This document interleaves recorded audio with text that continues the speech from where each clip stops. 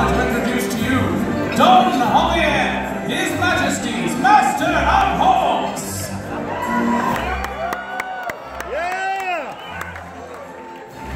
With his noble company of knights, he presents just some of the king's magnificent, purebred Spanish horses.